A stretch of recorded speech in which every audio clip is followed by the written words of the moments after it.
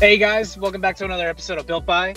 Uh, this week we have Rich Harshaw, who's the CEO at Level 10 Contractor, a marketing agency that helps remodeling businesses with everything under the sun when it comes to marketing, SEO, um, social ads, Google ads. Um, Rich, thanks so much for being on, man. My pleasure. Thanks for having me. Absolutely. So before there's a lot of good stuff in here. Before we dive in, I would love to, you know, talk a little bit about um, you know your introduction in the industry it looks like you've been here since 1994 is when you got your start um, and when you realized this was really a, a, your niche working with home improvement companies.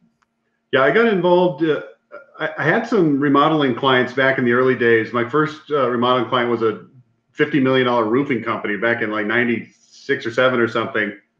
Uh, but i really got involved in 2005 when i did a webinar with the folks over at MarketSharp, mm. and uh, that went well. And I don't know if you know Tim over there. He's uh, a great connector yeah. in this industry. He knows pretty much everyone. And, and uh, I said, hey, who's the marketing guru in this industry? Because every industry has their marketing gurus. And he said, well, there really isn't one. We got a lot of sales gurus, but no, no real marketing guys. That's why I asked you to come on this webinar. So I thought, well, maybe I'll be it. And started doing a bunch of seminars with Tim and MarketSharp in conjunction with those guys back in about uh, 2005, six, seven. Did something like 30 seminars. Then I started speaking. Uh, you know, any event that the industry has held, I've spoken at. A lot of events that they don't even hold anymore. But uh, yeah, been going ever since. Yeah, that's awesome, man. Good old uh, good Tim Mush. Uh, you know, we're we're good partners with the MarketSharp as well, and actually we've had a a podcast with him previously. So, um, yeah, it's awesome to hear. Um, one thing that I really want to dig into today is uh, this concept that you talked about in one of your recent podcast episodes. By the way, Level 10 has an amazing podcast, uh, daily podcast, which is um, much more stressful than the, the weekly one we have here, but um, it's great. And you had an episode recently, episode number 344 uh, on uh, August 17th, where you talked about identity. And I really think this is a good starting place for a lot of companies that haven't put much thought into their marketing um, because it starts it's the foundation for everything really. Um, so tell me a little bit about um, I, I, guess the first point is confirmation bias and, and how that kind of plays into um, this identity.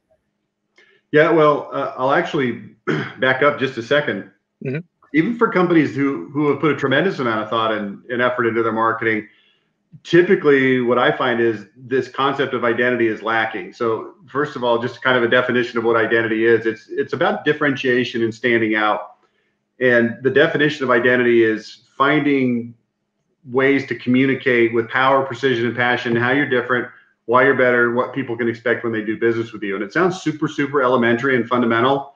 But uh, you know, most of my larger clients, we work with a lot of smaller companies in the maybe two to six million dollar range, but we also work with a lot that are in the uh, let's say 12 to 50 million dollar range.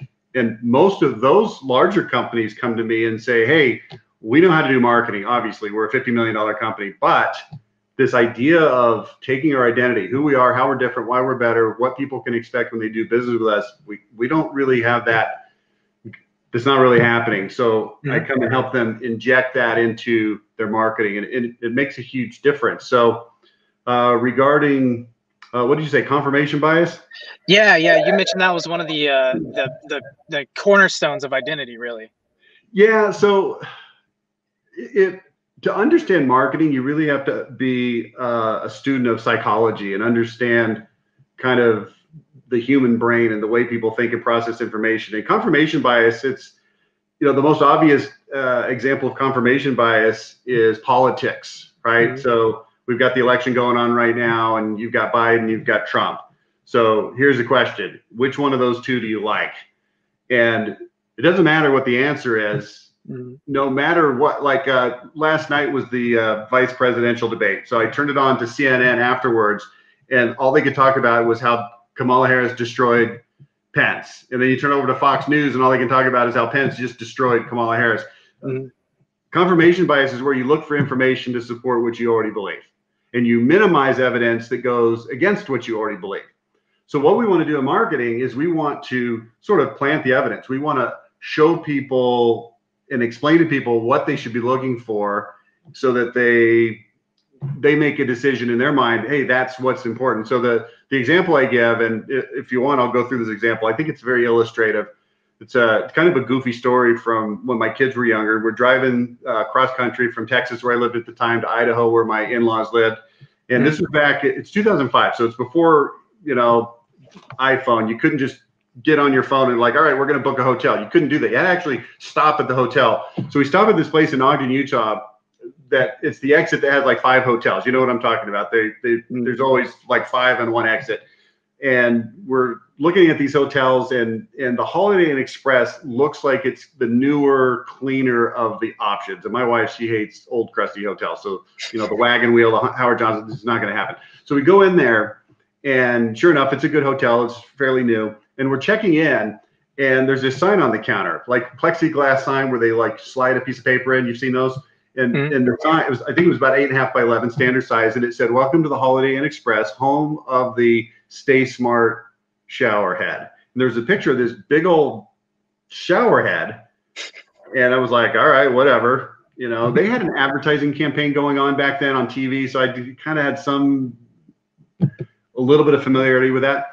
Yeah. we checked into the room, and when we got into the room, next to the TV on the the, the dresser was a, another sign, the second one, and it said, "Welcome to your room at your earliest convenience. Check out the Stay Smart bathroom, home of the Stay Smart showerhead, featuring the Stay Smart showerhead by Kohler." And there was a big old showerhead picture on that. So I'm a marketing guy. I, I was curious now, so I went into the bathroom. And on the counter in the bathroom, the vanity, there was a third sign now, and it said, "Welcome to the Stay Smart bathroom featuring, and then it had four things.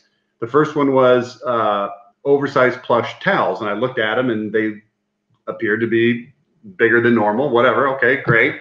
Number two, boat out shower curtain rod. Oh yeah. This was a big deal back in 2005. I mean, it's pretty ubiquitous now, but then it was like, wow, look, I can get in there and people's other people's naked won't touch me. So it was good. so I noticed that. Number three was uh, designer toiletries you know, look at these little bottles of shampoo and conditioner and mouthwash, whatever. So that looked pretty good, uh, fancy. And then mm-hmm. the fourth thing, of course, the Stay Smart shower. And there's a picture of this the shower head. So I looked over at the shower, and that shower curtain, that boat out shower curtain rod, the shower was it was closed, so I couldn't see the shower the shower head. So I pulled it back, and you know, you see in the movies like the light comes out and the the angels are singing. Yeah. There it was, the Stay Smart showerhead. And the reason I know it was the Stay Smart showerhead because it was the funniest thing in the world. There was actually a sign about a foot tall by about five inches wide that was hanging from the showerhead, like a door hanger. And it mm-hmm. said, This is the Stay Smart showerhead. And it had a picture of the showerhead hanging from the shower. And it said, you know, I think there was three different gourmet sounding settings, rejuvenating, revitalizing, reinvigorating. I thought, wow, this is really interesting. But here's the here's what I'm telling you this goofy story because here's what happens, and it ties in with this idea of confirmation bias. Remember Trump, Biden, who do you like, who do you hate, whatever. When they start showing you these signs at the check-in, next to the TV in the room, on the vanity in the bathroom, and now literally hanging. What happens is people notice the shower head and they see that it's big and they get an idea in their brain that, wow, this is really awesome. This is really cool and they did surveys the, the, the holiday inn express people where they'd ask people you know rate your stay and it was from zero to five stars. And i mean think about all the things that you can rate when it comes to a hotel stay you know the, the parking lot the check-in process was it quick? Was the bed comfortable? Was the breakfast good? Was the pool? And all the different things. And they would embed in the middle of that somewhere what'd you think about the bathroom and what'd you think about the shower? And before they had run this campaign people were rating the shower head at like 4.2 stars, which is it's fine. What? Fine. Showerhead. Showerhead. I mean, I, most people probably didn't really pay any attention or notice it. But after they ran this campaign and they put these signs, it rated at 4.9 stars. And here's the key, and this is the part that I don't want people to miss. It is the same showerhead as before. The only difference is they're now pointing at it, pointing at the showerhead and they were doing it multiple times in multiple ways, different areas. And so what happens is people start to to assign greater value to something that already existed just because it's being pointed at. And look, it delivered. It was a good shower head. If you did all of that and then you had this crusty little crappy shower head that sucked, then people would be like, you know, now you pointed at something, pointed out something that is not good. But uh, in in contractor terms, here's what I found: you, as a contractor, need to find out what it is that you do that people like, that you're known for, that you've innovated, that makes you you. What's the DNA of your company? And then you need to point at those shower heads and you need to do it repeatedly in different formats in different ways.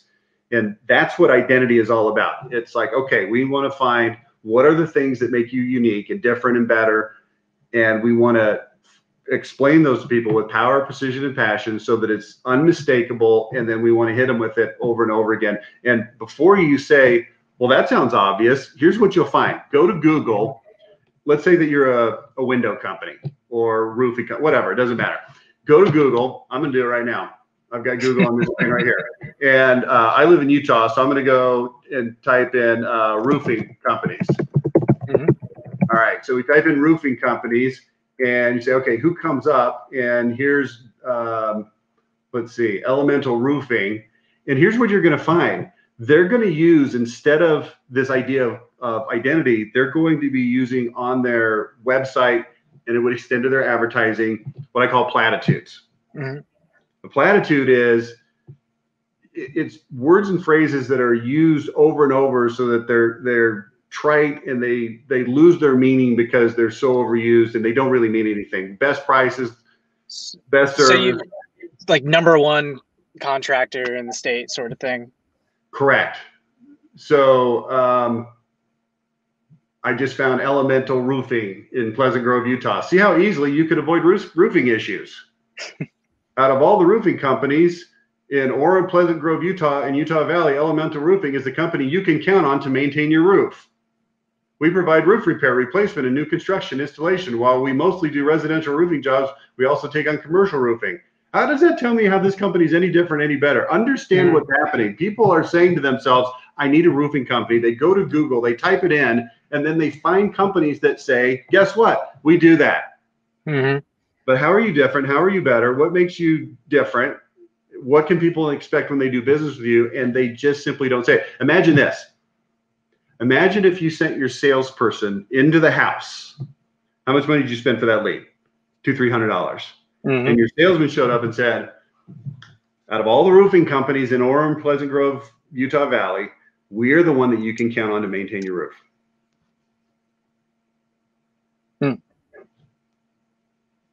Yes.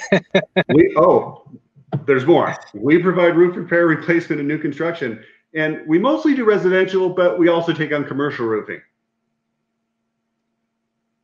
Yeah. Here's what you got to understand this company and every company has had how many years to craft the most unbelievable message to set themselves apart and put it right. on this all important thing called their website and it I, what, what kind of language can we use on this podcast? I, am not somebody that swears. It sucks. Terrible. Right. yeah. And it's super common. This is the 98 percent. I, we do mm-hmm. website audits where we uh, we offer companies, hey, send us your uh, website and we'll we'll run it through this audit. We're running it through an audit looking for how easy it is for people to find it on Google, and when people do find it, how well it does at um, converting people that are looking into leads. And I, I did a I did an audit Monday this week on a 100 point scale. It scored negative three. Really? Wow less than zero because it was just it, and it's not uncommon normally in those those uh, those audits the typical range of scores is is single digits to about the 30s yeah and and look there's a lot of reasons part of it is technical seo kind of stuff but on the on the conversion side is it converting people that are on the site into to leads it almost all has to do with lack of of uh, identity you, so you are doing you contractor are doing a horrible job of differentiating yourself and explaining who you are, how you're different, why you're better, what people can expect. When you go into the house, your sales guy, he's great at that. Mm-hmm. But how many deals, how many leads are you losing because they never even become a lead because they look at this this side elemental roofing and they go, yeah, I don't know, let me keep looking. They hit, here's what they do. They hit the back button, then they go, oh well, let's see. Oh, Cascade Roofing. Let's see what mm-hmm. they say. Oh, experienced and reliable Provo roofing contractor. When it comes to residential and commercial roofing in the Provo area or anywhere in Utah, trust the roofer voted number one. Number one. There it oh, is. They actually have a seal that looks like a blue ribbon. They were literally voted number one. We are a contractor that has put a premium on providing consistent roofing quality and true customer service for over 25 years. Look, I'm not saying that those are not worthwhile things, but when you just yeah. leave it there, do you know that there was a court case one time? I used to live in Dallas, so this was news in Dallas because mm. Pizza Hut is out of Dallas. And Pizza Hut started getting killed by Papa John's. So they sued them because that's what that's the American way, right? Yeah. And they yeah, yeah. sued them over their slogan. You know what Papa John's slogan is? Do you remember? Uh, I can't remember it off the top of my head. Better ingredients, better pizza. And Pizza Hut sued Papa John's and said, that's not true. It's factually incorrect. You do not have better ingredients and therefore better pizza. And you know what the judge said? This went to the, the circuit court level one step below the Supreme Court. Mm-hmm. The Supreme Court refused to hear it on appeal. The Supreme Court. Wow. Here's what the here's what the the circuit level US court said. That is called advertising puffery. Now I use the word platitudes. And they said nobody believes it anyway. So it doesn't matter if you use it. And they cited something like 175 companies that use platitudes in their advertising. Like uh, BMW is the ultimate driving machine. Well, is it literally the ultimate driving machine? And people become so used to this this puffery, these platitudes, that it just kind of rolls off the understanding like water off a duck's back. But yeah. from your perspective as a as a contractor, this is a huge massive opportunity because if you actually talk about who you are, how you're different, why you're better, and not just that your products are better, but your core values, your workmanship, your bedside manner, how you treat people, and you put that and integrate that into your your not just your website, but all of your marketing and advertising, it makes a massive difference. And I know this yeah. because this is what I spent my career doing, and we watch time after time after time when you actually take the time to do this and have the expertise to do this, it, it moves the needle. It pegs it at awesome. Yeah, yeah. That's awesome. So you mentioned, um, I, have heard you mention it a few times, but the the power, um, passion, and precision, um, and this is how you like to work with companies when they're they're talking about their brand identity, basically. Um, what what does that mean in, in terms of uh, you know how I do present my brand? Well, so let me give you a good example of what is not power, precision, and passion. Mm-hmm. Okay and you're going to laugh because here's I'm just going to read the same website again. Mm-hmm. When it comes to residential commercial roofing, the Trust the Roofer voted number one in Utah County. Pro, Provo Roofing Roofing Contractor. Oh, ca- sorry, Cascade Roofing has put a premium on providing consistent roofing quality and true customer service for over 25 years. This, you remember? I don't know how old you are. I'm a little bit older than you do you have you ever seen the Peanuts cartoons like uh, yes. Charlie Brown? Like yes. when I was a kid, it was a big deal because they have the the Christmas and Halloween and Thanksgiving specials. Do you mm-hmm. remember when Charlie Brown's the kids would talk to either the teacher or the parent? Wah, oh, yeah. wah, wah. That's what this sounds like. That's what this sounds like. So what we want to do is come in and we want to speak with power, precision, and passion. So I'll give you an example here. I'm going to go to one of my clients and this is a company called Solid State Construction. They're out of Boston. And uh, I'm just going to run down to their blog real quick, just to give you an example. And here is a blog post that says here's the title of the blog post This bizarre nail, and nail is in quotation marks, is how we ensure MetroWest's stoutest siding installation. And there's a picture of this, this nail that has this helix around it with spikes on it. It looks like something that Jason might use to kill you in Friday the 13th. so you look at that and you're like, okay, that's kind of interesting. And when you read it, I want you to gauge this against power, precision, and passion. It says, We embrace new, weird, and wild industry innovations as long as it leads to a better result for you.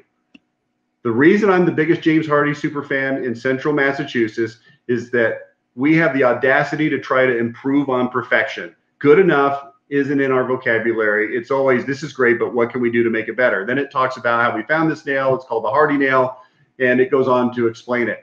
And it's using, let's listen to these three words power, precision, precision. This is mm-hmm. super, super key.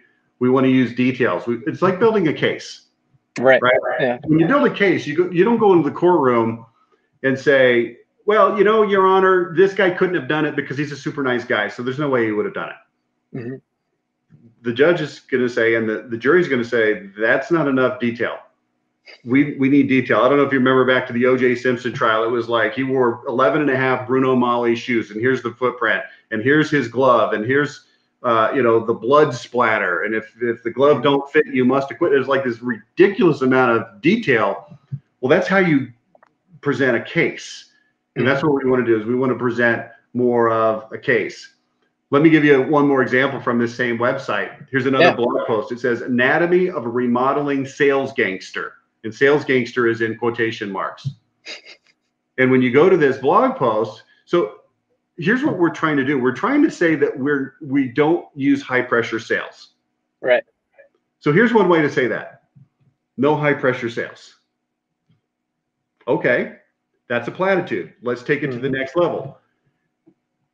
Here's an article. Telltale signs that you're dealing with a salesman who chooses high pressure solicitation over customer education. And then it says we talk a lot about sales gangsters and why to avoid them if you need exterior remodeling in central Massachusetts. But what is a sales gangster? What does it look like? What exactly does he do that's so objectionable? We've created a diagram. Take a look at anatomy of a sales gangster. And then we have an illustration and it shows this kind of cheesy looking. You can look this up. Go to Solid State Construction, go into the blog, you'll see it and it has this kind of cheesy looking dude, and it shows his eyes and his mouth and his arms, and you know his watch loves to waste your time with three hour appointments, and his eyes si- sizes you up like a lion preying on on a gazelle. And then we compare that. You scroll down, anatomy of a solid state project consultant, and the guy that's look more professional. His ears listens to understand what you want to accomplish. Mouth discusses your needs. Watch is considerate of your time. Never draws things out. So it's highly specific, power, precision, and then you know driving that is passion right yeah it's it's amazing you can you can actually get the personality of the company through you know their copy that they're writing and stuff so um, that's actually fascinating i'm gonna definitely link that well guess what you can do also now so let's say you're on the radio or tv mm-hmm. and you wanted to go on there and say hey we don't do high pressure sales and you think well why hey rich why are you so fixated on high pressure sales well i'm not this is one of literally 12 or 15 different points that we're going to build this case on. But it just happens to be the one that I pulled up. So we can actually come onto the radio now and say, hey, when it comes to high, when it comes to home improvement, roofing, siding, things like that, one thing you got to watch out for is high pressure sales. In fact, there's something that we call sales gangsters. What the sales gangster? Well, and then you go on and you explain it. Now yeah. it's more interesting. It's telling a story you know, here's something that I want all of your your uh, podcast listeners to to really focus in on. Marketing is just storytelling. Mm-hmm. Look at what we've talked about here. We've talked about some freaky looking nail and how it makes your your siding stay better and last longer. We've talked about anatomy of a sales gangster. Here's another one that says, uh, uh, "Press seven to bash your head against a wall," and it talks about how we don't have uh, auto attendant, and anytime you call, you get a real person. In most companies, you're going to get some kind of bullcrap, you know, nonsense that's yeah. not a person. But instead of saying we answer the phone live, right? That's a platitude. Press seven to bash your head against a wall, and we, you know, it's just more interesting. It's telling a story. Yeah, yeah, that's fantastic. And like you mentioned, it, it's copywriting is one of those very um, underutilized skills today in marketing, especially. Um, you know, when everybody thinks of copywriting, they think of Mad Men in the 1960s and what's this ad gonna say in this this uh, this paper. But um, really, copywriting is everything that encapsulates your brand and often consumers are hitting your website first like you mentioned earlier so um, that's really interesting um, unfortunately, I think we're we're butting up against time here. There's like a hundred questions I would love to ask and kind of continue the conversation. So I, would love to have a couple more, um, you know, uh, episodes. But um, Rich, if if some of our listeners want to learn more about Level Ten or you know connect with you, where should they go? Uh, well, so there's a couple things. You can go to level10contractor.com and mm-hmm. see all about our company. Uh, probably the best resource is our podcast. Like you said, we do run a daily podcast. The reason it's daily is because we have, I think we're on episode 400. Anything you can think of is on there. And if, if mm-hmm. on a given day it's not something that really strikes you as important to your company, then just skip it and there'll be another one tomorrow. But uh, like you said, uh, you've got it in your notes. What was it? Episode three something? What was that? That's on identity. If you want to learn more about this topic.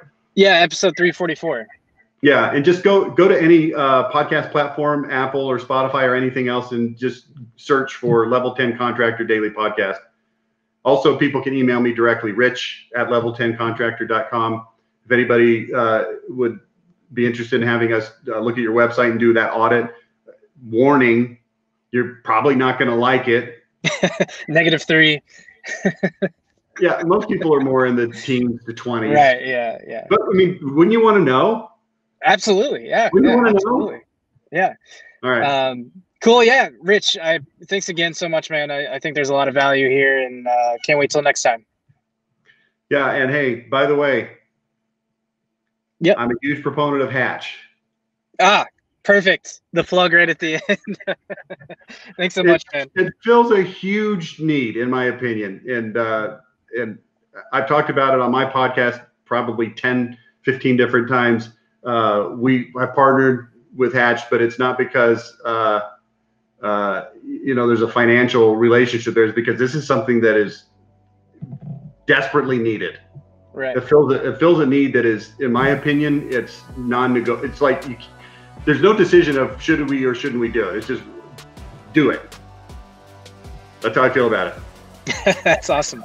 That's another way to, to really tell your story too to customers one on one with texting and email and, and, you know a lot of different ways. So yeah, appreciate the plug, Rich. Yeah, no no problem. I, I plug it all the time and I, I get as many of my clients as possible on that thing because it, it works and it makes a difference. So anyway, thanks for having me today. I really appreciate it. Yeah, absolutely. Have a good one, Rich.